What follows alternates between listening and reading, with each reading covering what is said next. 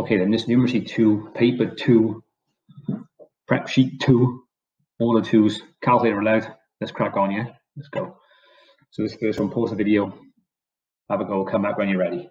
Okay, start my time, let make sure I'm not going over. Right, so this first one is all about knowing your conversions.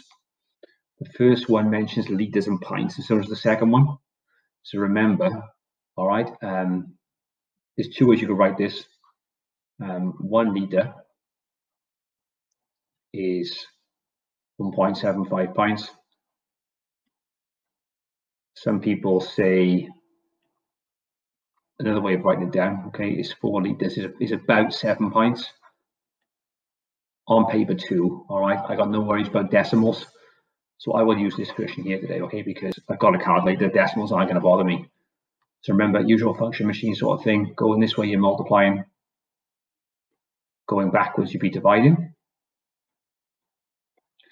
So question A then, six litres. Also, I'm going forward this way, so multiply by 1.75. So if you just do 6 times 1.75, you get uh, 10.5. So 6 litres is about 10.5 pints, 10 and a half pints. And then part B, 21 pints in the litres. I'm going backwards this time, aren't I? So I divide by 1.75 and I think you get 12, but I don't double check. I got a calculator, why not? Yeah, you get 12 points, 12 litres, sorry. All right, so I'm working backwards in points to litres. Job done. And then question C and D, miles and meters, right? There's two connections again. One approximation, okay? So one mile, you know, is about 1,600 meters. A more precise one is that one mile is pretty much bang on 1,609 meters. They won't mind which one they're using in the exam. I'm going to use this one because you know it's just simpler numbers to work with, I suppose. So I'm going forwards, I am multiplying by 1600. If I were working backwards, I would divide by 1600. Okay, so part C then, nine miles. Obviously, I'm going forwards, aren't I, from miles to meters. So I multiply by 1600. Well, 16 times 944. So it's going to be 14,400 meters. And then part D, a little bit strange, isn't it? Okay, four and one third. This is quite awkward here, all right?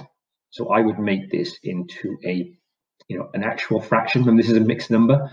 Best to make it into an actual fraction. You've seen the shortcut in your seven, eight, nine probably. Remember, you just do four times three, which is 12. Add one is 13, okay? So this actually is a, as a normal fraction, well, an improper fraction is 13 thirds. 4 times 3 is 12, add 1 is 13, and this denominator here will always be replicated there. Okay, so I just got to do 13 and 1 third now on the, sorry, 13 thirds on the calculator. Again, I'm still going forwards though. All right, so I'm still multiplying by 1600 and see what you get. 1600 gives me um, a more awkward answer, 6,933.33 uh, meters to 2 dp. And that's the first one done. Okay, so question two, pause the video, come back when you're ready. So this one, I've been asked to estimate the mean. Remember, this is a very robotic procedure, four steps. Um, yeah, so let's make it happen. All right, remember the first step to do is always to add up the total frequency first of all. I call that sigma f and just add up this column here, okay? All right, if you do that on the calculator, you get 80, and it should be 80 because it tells you here. Then find the midpoint of each group. So remember the mid, what, what is the midpoint of 0 to 90? Well, that's 45, the number in the middle. If you can't do it in your head, remember though, you can always take a shortcut, can't you? You can add the two numbers together, okay, which is 90 and then divide it by 2 and you get 45 and that trick will always work to find the midpoint. So if you can't do them in your head don't be embarrassed okay? A lot of people can't. Just add both the numbers and divide by 2 make sure you push equals first though. So see for this second group you just do 9d add 180 which is 270 and then 270 over 2 is 135 Okay, so this midpoint here is 135. Then you can repeat the process. This one here is 225. This one here is 360. And this one here is 630. Okay. And now multiply these two columns together. All right, so this one here is uh, 450. Uh, 450. 38 times 135 is 5,130. 20 times 225 is 4,500. 8 times 360 is 2,880. And 4 times 630, I think, is 2,520. Uh, yeah, it is. Remember now, add these numbers together now. So add these together. Okay. No, that's stupid, in there. Add together. Sorry. Add those together. So 450 plus 5130 plus 4500 plus 2880 plus 2520 gives me 15,480. And then to find the mean, remember it's an, it's an estimation, hence the estimation sign. Remember it's this number here, so it's 15,480 divided by the total frequency. Okay, so 15,480 divided by 80, and this should give us quite a nice answer because 80 is quite a nice number to divide by. It does, yeah, 193.5 minutes. Okay. Part B then, which group contains the median value? We've seen this before on, on, on other papers. Remember the median is the middle number. There's 80 people in my data set here. So the median is the middle, and halfway through 80. So a half of 80 people. I am looking for the 40th person. Right, now remember then that the 40th person is going to be in the second group. And why is this? Well, because after the first group, you've seen 10 people. Once you get into the second group, you'll see 38 more people. 10 people, add 38 more means that by the end of this group, you've seen 48 people. See, up to here, you've seen 10 people. After here, you've seen 48 people. So the 40th person must live in this group here. Okay. So this per the, the median value um, is in. That's not that's the that's the worst S ever. Looks like looks like an inequality symbol. Dear me, that's bad. And that's bad even for me. Let's try that again. It is in the second group down, which is 90 less than t less than 180. Job done. Okay, this one in. Right, pause this one. Have a go, come back when you're ready. Okay, so first thing I see here is the exchange rate. Always write this as a function machine. One euro is 154.18 krona. I'll just call that KR for short, okay? I'm not sure about the symbol for Icelandic krona. So my function machine method would say going this way, you're multiplying by 154.18. Going backwards, you're dividing by 154.18. And you want to exchange 300 euros, no worries. So 300 euros would multiply when you're going this way by 154.18. And we should get a nice whole number here because of the 300. We do, yeah. I get 46,000 254 kronas. Okay. But the bank only has 20 krona notes. So what that means is that they can only give kronas back in 20s. So 20, 40, 60, 80, for example. Okay. They can basically, they can only count in 20s. Okay. So they're going to say, like, you go, sir, 20, 40, 60, 80, 100, 120, you know, blah, blah, blah until you get to this number here. But you won't get to this number here, will you? Hopefully you can see why. Because if you count in 20s, you can see of that the numbers all end in naught for a start. All right. And it's only ever going to go 20, 40, 60, 80, 100, 120. So the, the, the end digits will be 20, 40, 60, 80, etc. So I can't give out this much money. But how close can I get? Well, I think 46,000, I think 240. Okay, you couldn't say 46,260 because that's over and you're never going to get free money. Trust me, okay? That's what he'll get back. That's as close as he can get if you count in 20s. Okay, so he will receive this much money here.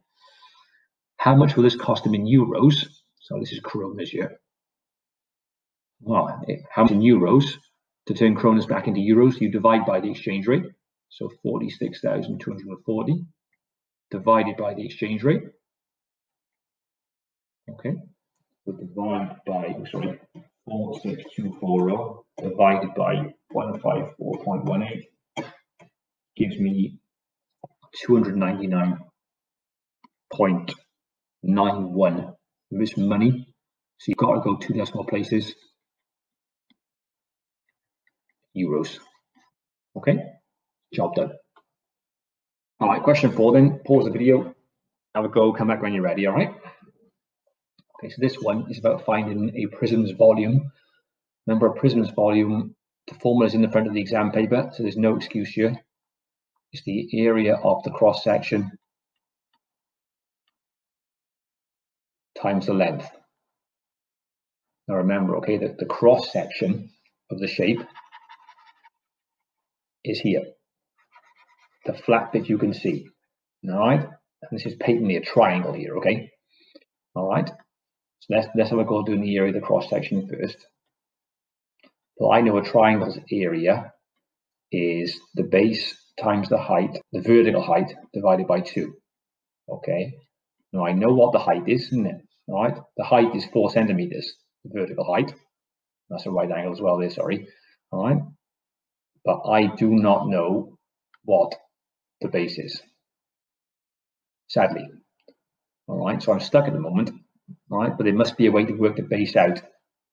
And there is because if I see a right angle triangle, I'm always thinking trigonometry, Pythagoras. All right, so let's look at one of these right angle triangles. Let me, let me, let me look at the right hand right angle triangle. All right, I'll give it a quick sketch. This height here is four centimeters. The slant height is five centimeters. And my goal is to find this part here I'll call it X. Okay. Remember, it'll be Pythagoras here because you've got two sides and you want to find the third. So that's C. All right. I call this one A, doesn't really matter, does it? And I call this one B. Remember then, A squared. Let me, put, let me put in the column method. Remember the famous formula is A squared add B squared equals C squared a squared is 4 squared, which is 16. I don't know what b squared is yet. c squared is 5 squared, which is 25. And remember the trick in it to find this missing bit here. Then I will just do 16. So I'll just do 25, take away 16. Remember the saying, short side subtract? That's why I say it. Okay, so here I'll just do 25, take away 16 to find the missing number and you get that equals 9. So b squared equals 9. That means b is the root of 9, which is 3 centimeters. Put it on the picture. Remember, there's only that bit here. That's 3, and that's 3. So the base will be 6 altogether, okay? Because it's 3 add 3. This is 6. 6 times 4 divided by 2 is 12 centimeters squared. So the volume is going to be 12 cm squared. So this is the cross section here. Okay. You multiply by the length, which is yeah. Okay, well that's close. that was a bad wasn't it? That's a dodgy highlighter. I'm gonna go away. Let me use let me use let me just use uh I'll use blue again, is it? Here we go, times the length. Okay, which is 10. So that's 12 centimeters squares times 10 centimeters and if you work that out, you get 120 centimeters cubed. Remember, volume is always in cubic units. Okay, and that's that one done there. Right, last one then. Pause the video, I go, and then come back when you're ready. Okay, so this one, you want to find the angle of elevation of the road, which is this here, the angle you look up at. I call that theta. It's going to be trigonometry because you want to find an angle. So remember, H, O, A. If you're unsure, remember, always refer to SOHCAHTOA. So I know O, and I know A. So it's tan. So tan theta is O over A. So that's O and that's A there, okay? That's O and that's A. To find an angle, take the inverse tan, okay? The inverse tangent by doing shift then tan of the fraction. From memory is about seven point something, but uh, I have to check my, so the inverse tan of 200 over 1600. Yeah, 7.13 degrees to two decimal places.